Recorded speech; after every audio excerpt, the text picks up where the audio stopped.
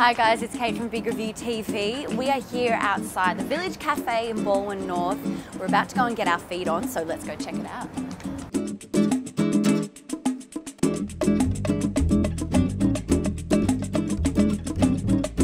Now this is a no frills eatery, but it's always packed because the locals that everything is made fresh daily on site.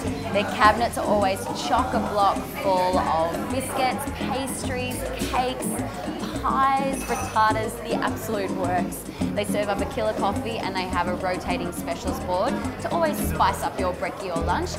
Now today they have served us up a bit of a unique dish.